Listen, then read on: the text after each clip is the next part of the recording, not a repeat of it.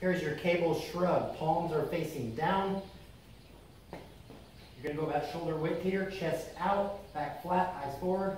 Gonna shrug up, pause, down nice and slow. Shrug up, pause, down nice and slow. This is your cable shrug.